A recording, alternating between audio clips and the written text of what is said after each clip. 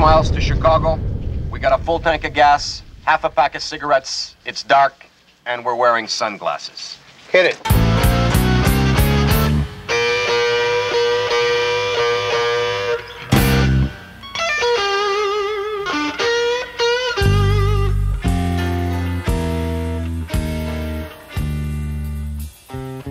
Good evening, everybody. Mark Klein hanging out with you. Welcome to another Long Island Blues warehouse at liblues.com. Every week, as most of you know at this point in time, we like to bring you a new band here in the studio at the world famous EKO Studios, Deer Park, New York. So we appreciate you checking us out, seeing what we do week after week. This week's featured artist, we have New York City singer songwriter Kirsten Thien. How are you, Kirsten? I'm great. How are you, Mark? It's good to see you. Thanks. You Good too. to see you. New on Facebook, Long Island. new Facebook friend of mine, That's right. and the And of Ralph, too. and of Ralph as well, and that beautiful marketing tool Facebook put us together, That's right. and I'm so glad that it did. So. We, uh, we, we give, uh, we give uh, credit and kudos to where I see fit, and uh, I thank Facebook in- incredibly for bringing you to us tonight. So, that having been said, do you- do you have anything to add? No, thank you. Well, enough said on that. I say we let the music speak for itself. And uh, let's get into our first tune. we'll Sounds come back and chat with you and some of these fine musicians. What are we doing first? We're gonna do a song called "Love That's Made to Share." Well, we are going to introduce Long Island and all of the world to you immediately. So if you would, please say hello and welcome this week's featured artist, Kirsten Thien.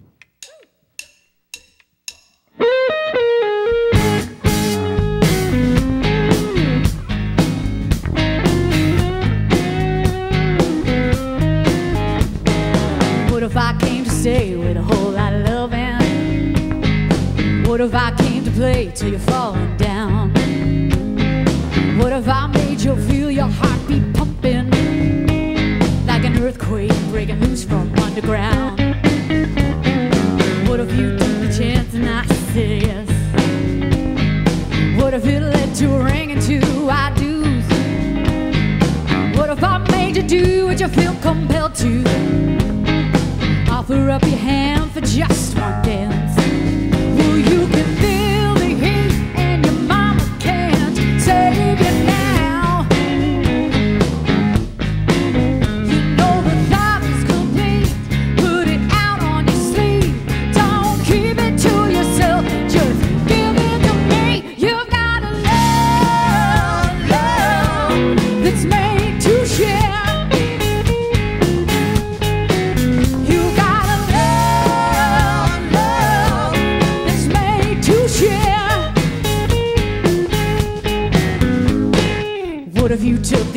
and I said yes?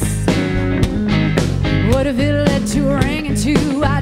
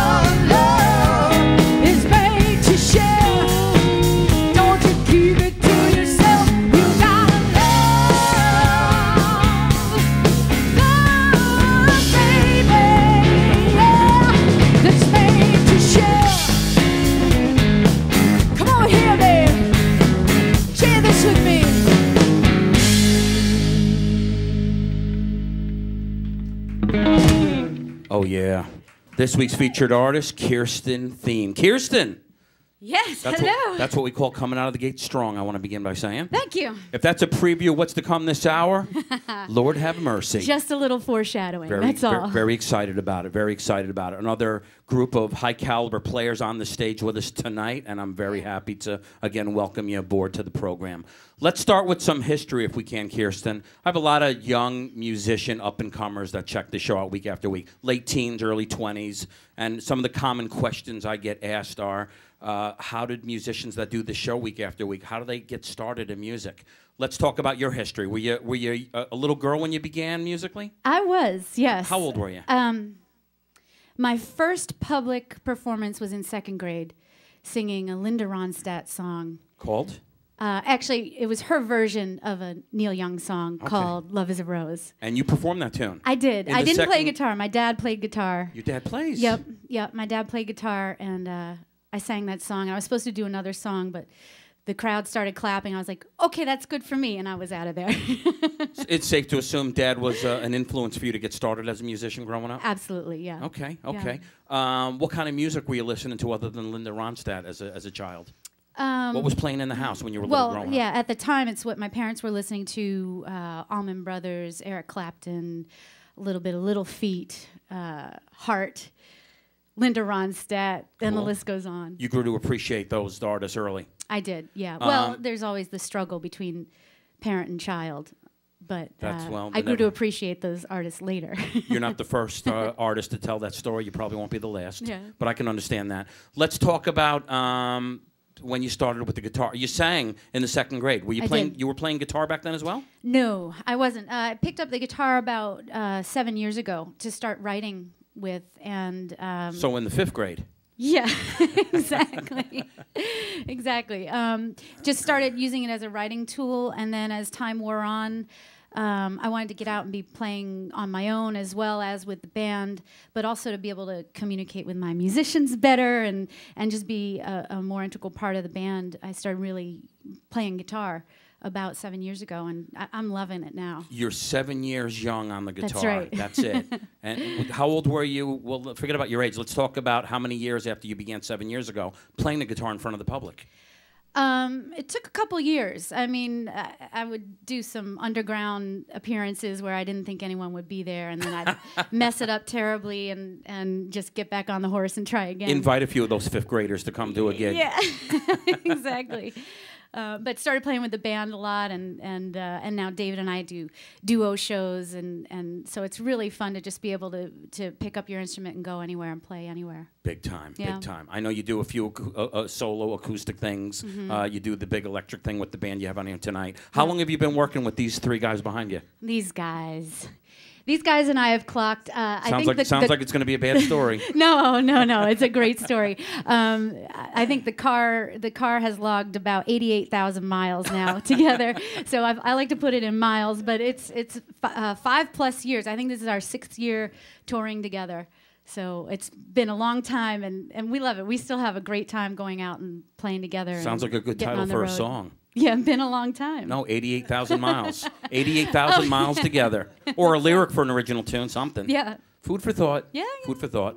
I say we put you people back to work, Kirsten. Let's Let's do get it. into another one. We'll chat more with you and Let's some of these it. other fine players. What are we uh, what are we doing next? This one's called "Nobody's Ever Loved Me Like You Do." For 88,000 miles. you good to go? Once again on the Long Island Blues Warehouse, we are going to keep it moving with this week's featured artist, Kirsten Thien.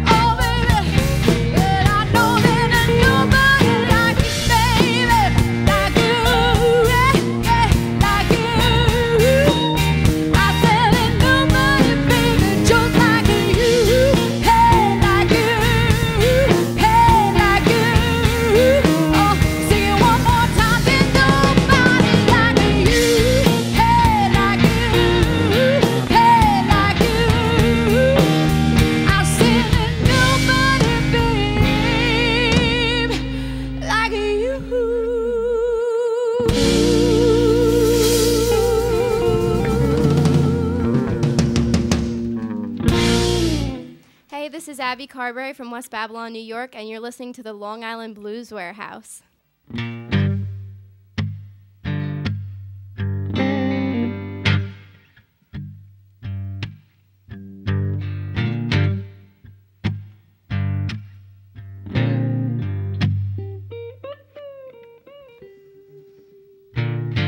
My fingers don't work the way they should. I could take you, you know I would. But I've been drinking, so I hand you the keys.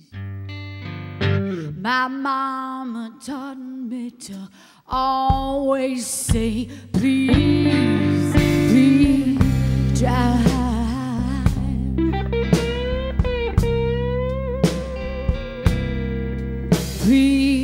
Drive.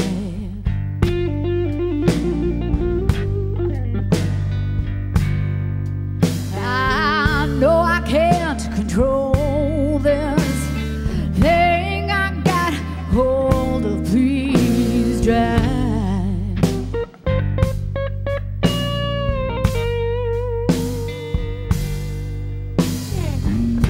I was 16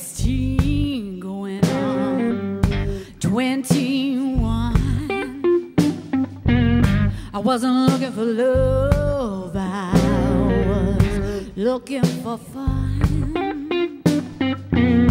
You guaranteed I'd be satisfied. So I agreed. I said, let's go for a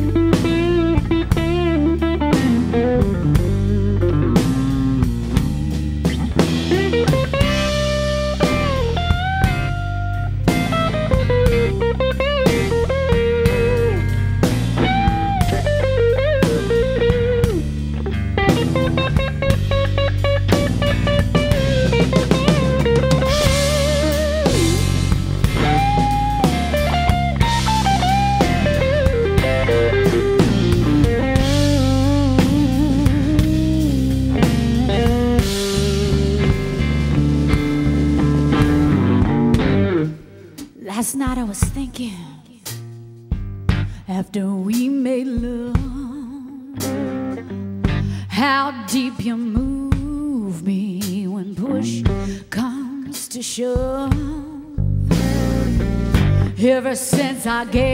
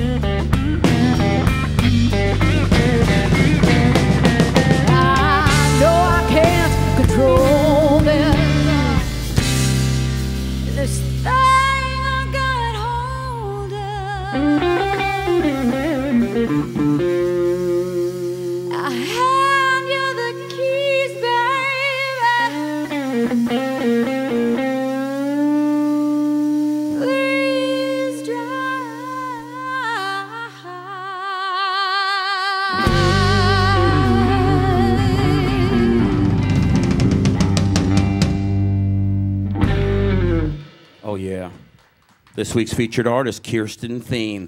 The third song off the brand new CD entitled Delicious, Please Drive. On the studio version of what you just did, Mr. Hubert Sumlin was a part of. That is correct. How did you make that happen? What an honor. How'd that get, get put together? Um, well, long, long story short, um, my producer had worked with Hubert a couple times. Uh, he's also a bass player and had played on a couple gigs with Hubert. And as you can hear in that last number, it's heavily influenced by the Chicago blues sound. Big time. Yeah, so I've been listening to a lot of Muddy Waters, and um, and that song was going to go on the record, and and he had done a gig with Hubert and said, "Wow, wouldn't it be great if Hubert played on that track?" I said, "Oh, sure, that'd be great."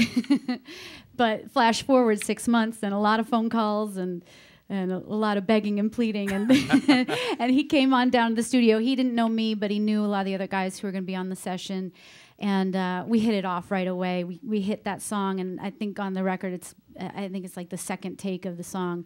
First first time through just to say this is what it's about, and the second time through to record it. Really? Yeah, it was really. We magic. play that song off this CD, which I want to get right now. If Ralph can uh, can get a little clip on that, the brand new delicious CD, Kirsten Thien, and the uh, the third song, as I mentioned, uh, the one we just uh, the one you just performed with Hubert on this. So phenomenal job, kiddo! Phenomenal job. Thanks. Where can people go to get this uh, this disc? By the way, Well, uh, of course, it's on iTunes and all the digital outlets. Uh, it's available on my website at kirstenthien.com. now the people are grabbing a pen. I'll ask you to spell that out for everybody. Okay, it's uh, K I R S T E N T H I E N. Very cool. Can you tell I've talked talked to some telemarketers who couldn't spell it? I, what I can tell is that you enunciate beautifully. Uh, Thank you. and, and, and that always helps. You'd be amazed at some of the artists we get in here that like have marbles in their mouth when they want to speak. And Yep. It's like a pain in the it's a real pain in the ass to get them to enunciate the way you do. So maybe you were I'll a tele help. I'll were you a telemarketer? Uh, I actually did a very short stint when I was in DC, but it wasn't really telemarketing. It was uh, fundraising for the Kennedy Center. All right. Center. Very cool. Very cool. it cool. still was no fun. I, I hate picking up the phone and asking people to give me money. Well, it's either the f- it's the force. Either you're born with it or not, and you apparently were born with that with that force. Let's talk about something else that gets asked to me a lot: uh, the thought process on how you go about writing tunes. You've been playing the guitar for seven years. Let's have. Let, us talk about when you started writing. Uh, started writing a, a bit before that, and um, I, I wrote. I, I was in college, and I decided I wanted to be a singer. And I read this book. It's called Everything You Need to Know About the Music Business, and it's kind of like the musician's Bible. Okay. and it basically taught me that in order to have some longevity in in the business you had to be writing your own material and this was even written back when people were selling records by the millions Sure, sure. so um, so I started writing as a functional thing and and it just has become an equal passion to singing and and now playing guitar as well I love it but I'd love to tell you a little bit about the process since you asked I- I'm curious to know, and so are many of the listeners that check the show out every week. Um, so please. It totally varies, but I'm going to lead up to the next song we do. All right. um, I, I do some writing solo and then I co write as well. Um, this next song, a lot of my songs come out of uh, either my own experience or maybe the experience of, of a friend of mine who was telling me some top secret story that I should never tell the world. and I'll take that material and make it into a song and then tell the world. Okay. Um, but this next one uh, started off. Someone had a conversation with me and had been through a really nasty divorce and was sort of on the other side of it. And uh, and he actually said, you know, that he had said to his his ex wife, "Thank you, thank you for saying goodbye." And I had a writing session the next day with with a new co-writer, and uh, and I said, you know, I got this hook. and we wrote this next song. It's called "Thank You for Saying Goodbye," and it's on my last record. you good to I go? see you looking at Delicious. it's, it's not on the delicious. It's CD. not on the Delicious Okay, CD. So we're going back into the catalog. Very cool. Very cool. You guys ready to do it? Once again on the Long Island Blues Warehouse, we are going to keep it moving with Kirsten Thien.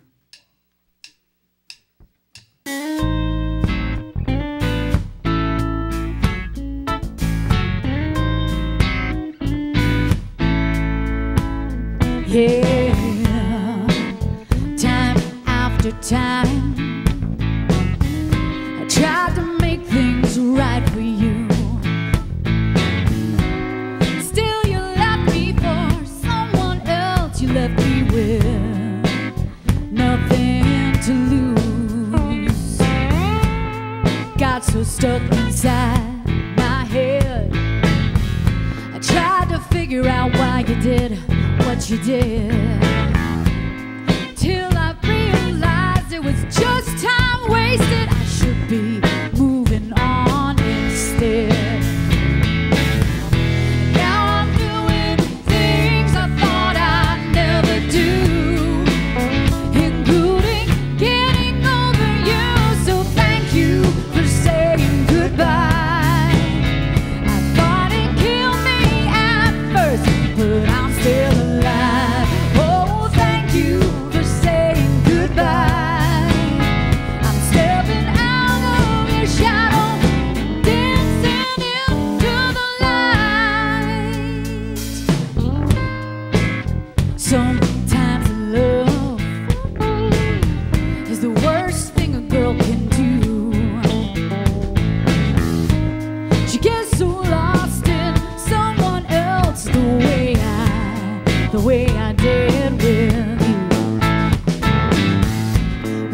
Took some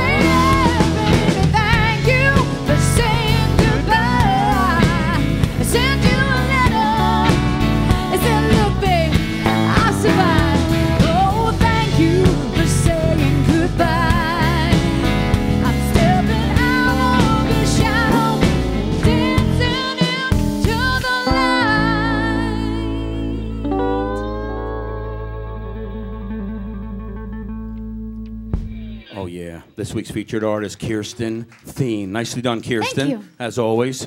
So that song you just played was influenced by the story you told right before we got into it. Yeah. What I now want to know is, let's say you want to write some tunes and you don't have any influential stories in your mind like the one you shared with us starting this tune. Yep. Are you one of those people that can say, like on a Sunday, all right, I'm going to sit down like Wednesday afternoon and write a few tunes, or I'm going to get together with with uh, Dave or or, or or or someone else and write some tunes, or do you have to be influenced by something that happens to someone or you to start writing a tune? Um, How do you go about?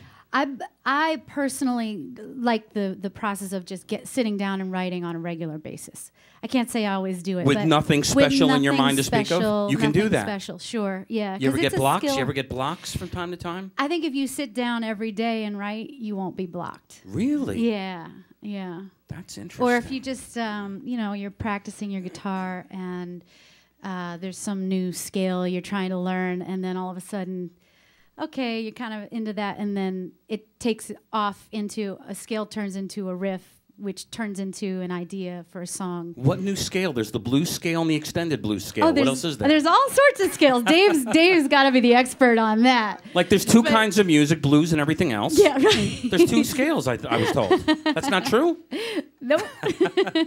All right, all right. yeah. So I, I I really like the. You can sit like down and write like literally every day, though, huh? I can't say it's going to be good, but I do believe that like if you sit down and write every day, you're you're honing that skill, and it is a skill. And then um, the other thing is scheduling writing sessions with other writers. So if I'm feeling lazy about my writing, I'll schedule a writing session because I won't cancel on someone else. Okay. If I might I might cancel on myself from time to time, but I won't cancel on on on a good song co-writer. So All right, I can Yeah. appreciate that. Do you ever um, do you, do you ever uh, go to write a song and start something and maybe not like the way it's coming out, put it on the shelf for a period of time, come back to it later and, and build on it down the road? Absolutely. How yeah. successful do you find yourself with that type of process? Um, pretty successful. Uh, it's uh, the editing process is definitely the hardest part. You know, when you come up with a great idea and you're really excited about it, you get a verse and a chorus and like half another verse. You're all excited, and then from there on, sometimes it's pulling teeth. But there's a song on the record. Um, we're not going to do it right now, but uh, we'll we'll do it in the second hour.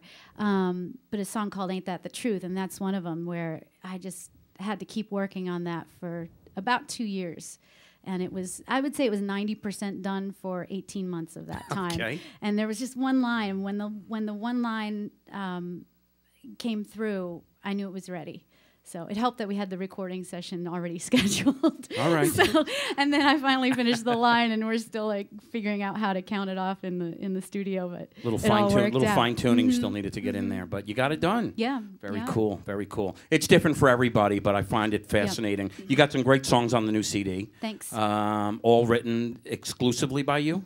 Uh, no, we uh, uh, eight of the songs are songs that I wrote uh, or co-wrote, and um, we did a few covers. We did a Willie Dixon song. Oh, you did do a Willie tune in there. Yeah, and we did an Ida Cox song called "Wild Women Don't Have the Blues." That's an Ida tune. Yeah, it was written in 1924.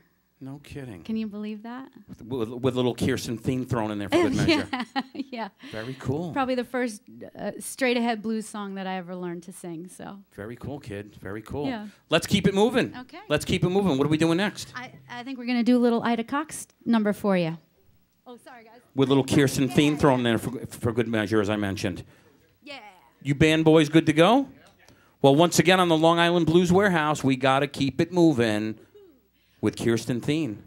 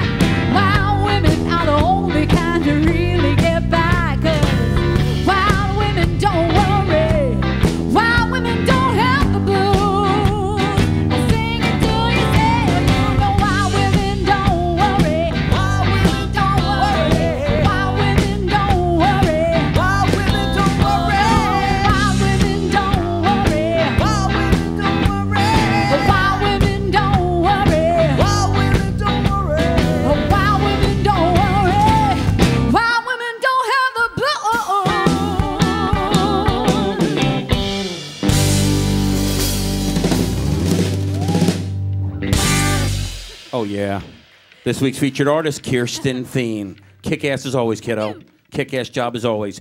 Kirsten, let me ask you uh, what the story is behind you and these uh, musicians touring. You guys get on the road? You travel much? Yeah, Let's yeah. talk about some places you've been. Uh, well, we we have a, a fairly regular trip down to North Carolina and back. Cool. We got some fans down there. Some some fans that are you know just they, the entire town comes out to see the Kirsten Thien band. Very Uh, nice. so we're willing to drive all the way down to North Carolina, in the Outer Banks, and uh, and stop everywhere we can in between. Uh, where else have we been, guys? What are some of the towns Knoxville, in that area? Tennessee. Oh, uh, well, uh, we we hit uh, Williamsburg, Williamsburg, sure. um, D.C. Sorry, it's all Johnny does all the driving. So D.C., Williamsburg, uh, Richmond, He's put on Easton, eight, Maryland. he's put on eighty-eight thousand miles on his own. He, he does With- with like with you three quarters of the driving. Johnny gets bored really quickly, so so we let him drive. It's All a right. perk. It's one of the perks of the job. Very cool. You look at that as a perk, huh? All right. Glad to hear it. I don't want to be in the back sleeping or staring out the window or something. That's Dylan's job. All right. Someone's got to do it. Someone's got to do it. Um, what are some? Uh, you ever been out west? I, been out I've there yet? done a gig, a solo gig in LA, and, and we're looking forward to getting out west, Getting uh, out maybe in the the, fall. Yeah, in the fall, and there's a, there's a lot going on in Colorado. Maybe hitting some House of Blues around the. Uh, Yeah, that'd around the good. country? That'd be good. uh, any talks of ever uh, looking to get overseas, things of that nature? Absolutely, yeah. That's uh, very, very high on the radar right now. You would Uh, do well in England. All we want to do. You would do do well in Europe. Yeah. You were Uh, you, yeah. you did Ireland? I, I did. A, I did a tour of Ireland. Yeah, uh, it was a solo tour. How long ago?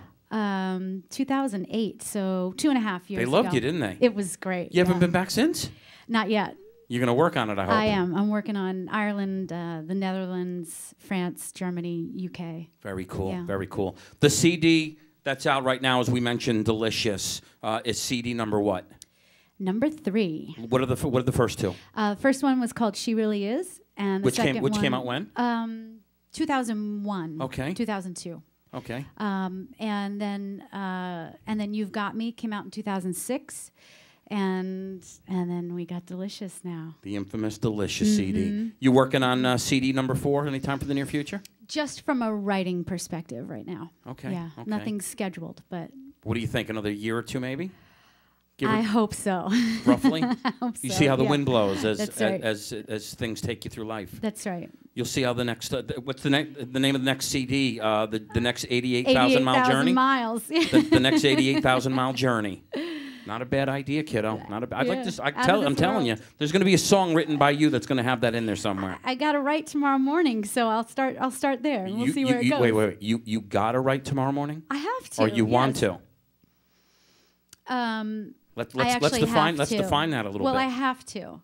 Um, I have some sessions, some writing sessions coming up with some other writers, so I don't want to show up empty. okay, all right. You're committed to things with other people. yeah, exactly. All right. You don't want to come to the table empty-handed. That's right. I can't imagine that you ever do, though, do you? I try not to, but th- there are times. All right. A all girl's right. got to sleep, you know. Rumor has it. Beauty rest. Rumor has it. Yeah. Well, whatever you're doing, it's working. Eating your Wheaties, eating your vegetables, something. That's right. Whatever formula you got going on in life right now, it ain't broke. Don't fix it. Cool. You run a I got a great- support system. You got a tremendous support system. You got a great rhythm section. You got a great I know. guitar player over there. You really. How'd you find these guys? Oh my gosh, uh, this is why I love New York. You know, um, we play outside of New York more than we play in New York, but I think New York has the best musicians in the world.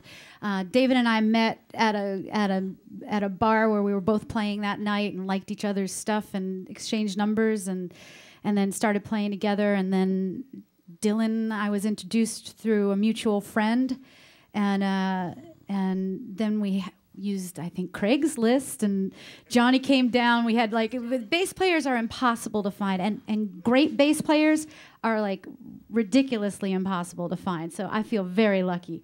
Um, Johnny came down, and you know, and we all got together and said. Yeah, we want that one. You're, you're the guy. You're And the we guy. didn't even know how much he loved to drive at the time, or how much fun he is, and how much he takes care of us on the road. An, so a- an it- added all- an added surprise yeah. bonus. Yeah. Very yeah. cool. Very cool. Kirsten, we got time probably for three more for hour one. Okay. Then we're gonna lock the doors and windows and keep you people in here for hour two audio. Oh my gosh. Those of you checking us out at liblues.com. Let's uh, jump into another one. Yeah. What are we gonna? Uh, Uh, let's do we the title next? track for the record. And we'll start with a little uh, bass drum groove here. Here we go.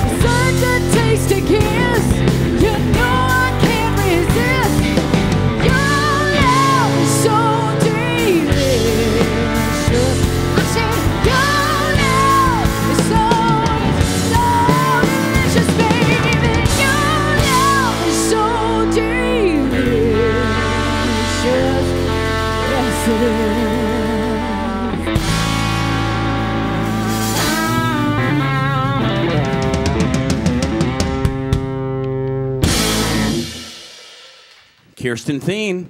Kirsten Thien. Oh, by the way, Kirsten Thien. Nicely done, kiddo. Nicely you. done. Love the name. Love the name. Love Thank the you. love the sound. And I love what you're all about, kiddo. Wow, thanks a lot. Let's talk about some upcoming shows. Anything to speak Let's of coming that. up in the near future? Absolutely. Uh, we are going to New England. We're going to Maine, uh, which is my home state. It is. yeah, yeah. When are you heading up there?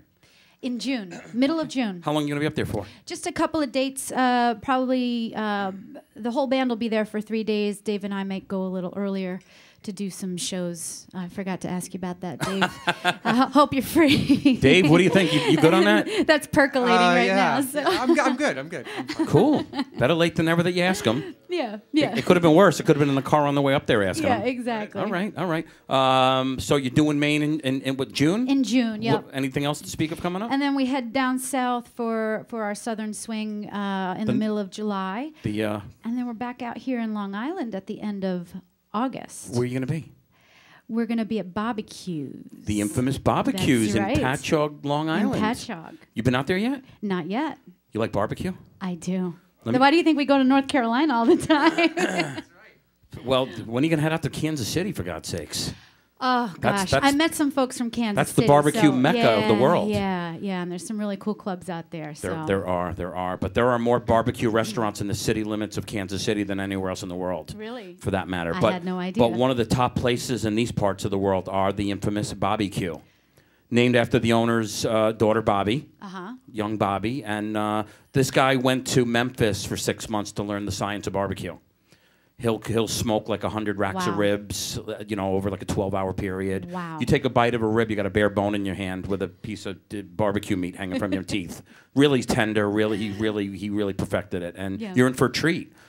Can't And, wait. and so's Long Island for that matter, and anybody from New York City or Jersey or Connecticut, that, Connecticut that comes out to that. So very cool. Bobbique's. Bobbique's. What month again? Uh, August. August. I believe it's the twentieth, but you can check the website uh, and uh, and that's it's right on the website. Okay, very cool. it very might not cool. be right in my mind until I until I get in the car to go to the gig, but uh, Based right on, the based on the attitude and personality, I'm going to guess that the answer to the next question is no, but I'm going to ask anyway. How is the comfort level for you walking on stage, especially like in big rooms, maybe festivals or or big big venues, you know, that hold 500 or 1,000, or outdoor festivals of a few thousand people? I know musicians where uh, right before they walk on, minutes feel like hours, seconds feel like minutes. Sure. It- it- do you do you get beat up that way with, with butterflies and nervousness or? get a little get a little excited for sure. You know, you get sort of amped up and and all. You get the adrenaline rush. I get the adrenaline. You don't get the rush, yeah. butterflies to the point where like It depends. It depends. Um, I, I did an opening slot for Buddy Guy in October, and I definitely got some butterflies. where where where was the show? That was in um, in Alexandria, Virginia, at the Birchmere. Wonderful, wonderful blues venue. Oh yeah, oh yeah, and I got my buddy That guy. looks like a buddy guy. Strap. He's got the and guitar. it was, looks it was pretty amazing. Um, just kind of looking down because the sa- stage was set up for Buddy. So you know he's got his polka dotted rug on the floor and the polka dotted wah wah pedal. So of course I had to touch the wah wah. Of course, with the polka dotted before, guitar. before I left the stage, I didn't I didn't mess with it or anything. Did you get a chance? I Did didn't you get a mess chance? with it. I swear. Did you talk with Buddy backstage before I didn't after? get to. Uh, he, he, I got to hang out with all of his band, and uh, the, they're just a, a great bunch of guys. Great was bunch was of guys. Scott Holt on guitar uh, on the project when you were Uh, there? I think it was Bald guy? Rick. Uh, Wasn't a bald guy named Scott Scott no, Holt? it was Okay. a guy named uh, Rick, and he and I are friends on Facebook now. The infamous so Facebook. that's how I remember names. You know, it's so much easier to remember names when you get the faces, and then you're actually on Facebook. It certainly helps. It Yeah. certainly helps. Very cool, kid. pretty cool. Very cool. We got time for two more. Let's let's get into another tune. Then we'll do our goodbyes. Then you'll play us out for the video. We'll take a little break at that point, and then uh, we're gonna do a whole nother hour. You people Great. checking us out through the stream. What are we? Uh, what are we doing next, kiddo? We're gonna do uh, a song that I became obsessed with recently. It's a it's a Freddie King song. Called? It's called "I'd Rather Be Blind." Love it, love it. Yeah. You good to go? We're good to go. I think so. Dylan, are we good to go? Cool. Long Island Blues Warehouse. We're gonna keep it moving with Kirsten Thien.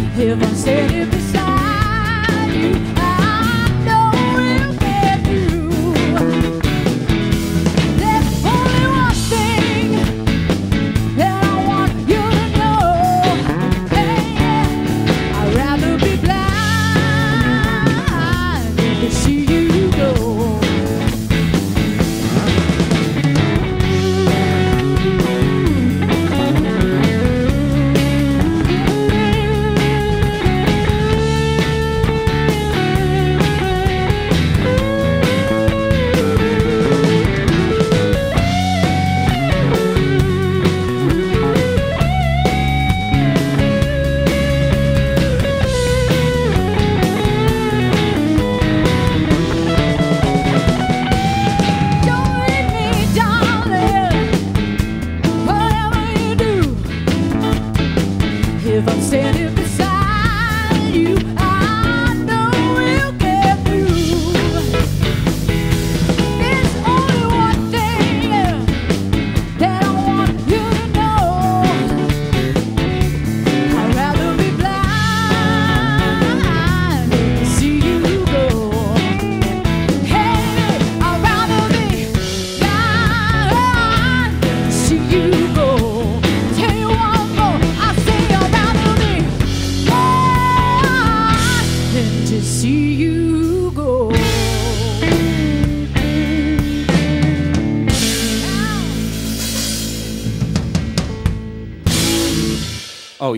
This week's featured artist, Kirsten Thien. We got to thank on the bass right over here to my left, Mr. Johnny Pisano.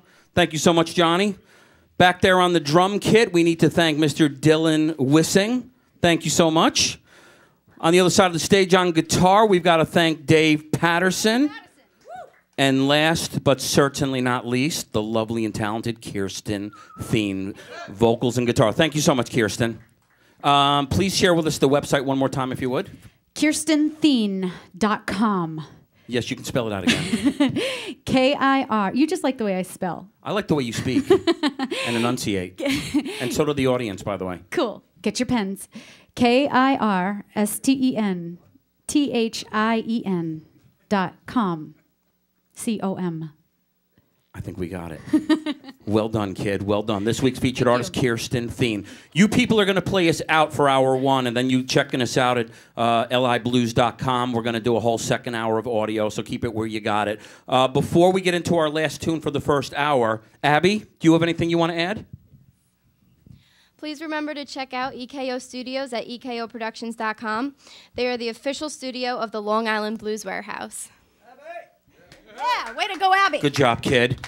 An up and coming singer songwriter herself, by the way. right. Lovely Abby from West Babylon. Thank you so much. Hopefully, we'll get her on the stage uh, somewhere down the road. So Yeah. we want to be on the lookout for that. Abby, thank you so much. Kirsten, what are we going to finish up hour one with? We're going to do a song the band and I have been doing for our five plus years. This song's called Treat 'em Like a Man. Here we go.